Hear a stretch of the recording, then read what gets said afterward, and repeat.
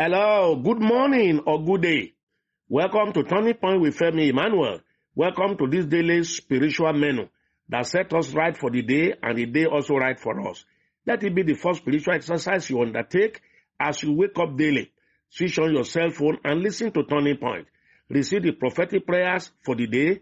Listen to the robust teachings and the inspiring testimonies. Pray more on your own for a while and sing a new song of praise to God Almighty. If you do this daily consistently enough, it will connect you to a flow that will make you a better person each day. Please do this regularly. Welcome also to Wednesday, the eighth day in February 2023. Eight is God's number for a new beginning. God will open a new chapter in your life this day. So open your hand and heart to receive God's blessings for today and be responding with Amen. I receive it. A new beginning. A new beginning. That's what I'm receiving now. Receive that grace. God is restoring flows. Whatever good things stop flowing to any of you or through you, it shall be fully restored. God is restoring flows, financial flows, spiritual flows, inspirational flows, idea flows, anointing flows, and this woman, your own menstrual flow. All stop flows, I command to be restored back today. Be restored back now. All flows are back. Thank God for it and expect your own flow back. Who is this woman? Your marriage is troubled by a strange woman outside in your husband's life. Your husband is hooked and a strange woman. He is no longer himself. And that breaks your heart and has brought a lot of problems to the marriage. I decree, may that siege over your marriage be destroyed by fire. Your husband is under a spell. I command that evil spell over him to be broken. The other woman or women are out to take him away from you. That will not happen. His heart shall be turned away from the strange women and be brought back to you, his wife. You are, their diabolical powers over him is hereby set on fire. Now do this, my daughter. If you have his photograph, anoint it and wrap it round with the anointed mantle, praying over it, this same prayer, for seven days consecutively.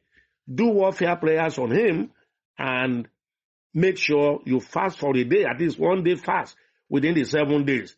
This is a battle, so do warfare battle. Send, put a battle seed behind your prayers. As God lives and His Spirit is alive, strange women's hold on Him shall be totally broken. Your husband shall be fully restored back to you and the home. Now, all pregnant women listening to me, I have an urge in my heart to pray for you today. I lay your hand on your tummy. I pray for you and the baby or babies inside you. You shall carry this pregnancy to term and deliver without struggle, without stress. Receive the grace of the Hebrew women. Negative dreams and visions that you have been seeing and hearing, they are not your portion. Receive grace and power to deliver in peace. Turning Point Global Family, whatever may be happening around where you are, your territory, your country, your city, dangerously, dangerously and in crisis, any evil going on in your environment, it shall not touch you. Receive anointing for divine exemption. You and your families, you are divinely exempted. You shall only be hearing, it will not come near you. In the name of Jesus, I prophesy to your life, you will not see evil, you will not hear evil, you will not experience evil. You are protected and you are divinely fortified. Say amen three times. Everyone, please anoint yourself today against evil before going out and if you're already out, when you get back home. February 8th celebrant, your prayers, be blessed. Your life is blessed and your new age is blessed also. You will live well, you will live good, you will live long, you will fulfill purpose in Jesus' name. Listeners, we are in the weeks of teachings and through questions and situations that listeners are sending in. Please send yours if you have any. First one today. Good afternoon, Daddy.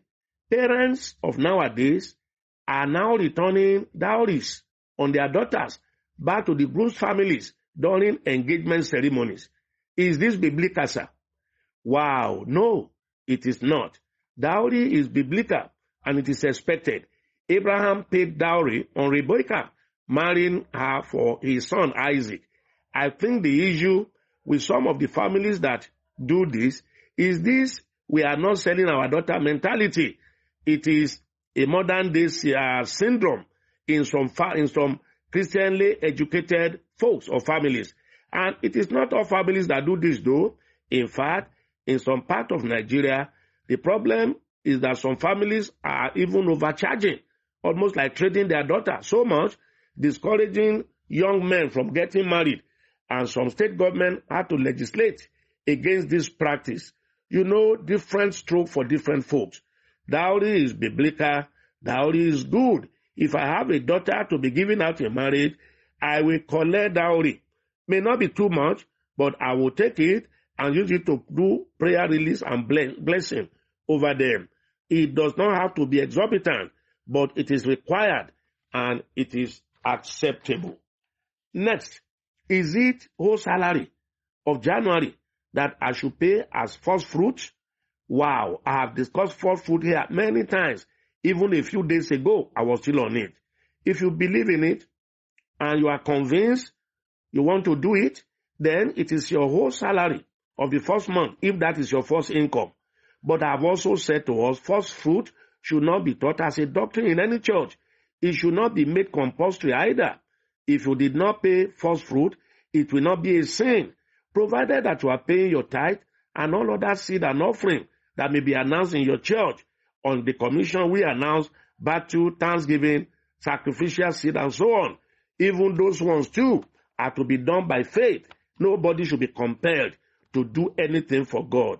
We don't teach or compel people to bring first fruit in our church. Those who do it, they do it, but it is never mentioned on the pulpit or taught as a fundamental doctrine. Next, Daddy, how do I cope with a man that does not know how to say sorry and never take correction, even when people keep complaining about his character? This is the second year of marriage and we quarrel a lot. He never accepts his mistakes. I did not see this in his attitude before we got married. Wow, you got married blindly because this character you describe were all in him then. Maybe, as they say, your love was blind. This attitude you describe does not jump on people suddenly. They grow up with them, and you can't hide character for too long. Well, now that you are already married to him, I counsel patience. Be patient and be calm with him. Then tolerance also and warfare prayers. Two wrongs can never make a right, and fire for fire will set that marriage or that home on fire. Singles, this is a lesson. You should learn from this. Once you see character flaws in a would-be suitor, male or female, call it quit with that relationship, or else you will lick your wounds later. My daughter, do what I have just counseled you. Along the way, God will touch his heart and he will be broken. Hope is a born again child of God. Next, as a Yahoo boy, is it good for me, for someone, to pay tithe from the money we earn from the fraudulent act? And also, I do stake Bet9ja. So, is it also good to pay tithe from the money we won from Bet9ja? Is really bothering me. I really want to know if it is right or wrong, sir.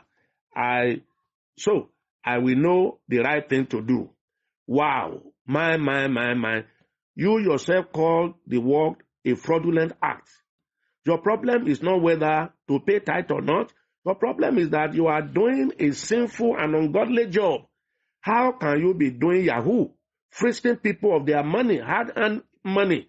That is stealing. That is criminal. That is wickedness drop that kind of life forthwith.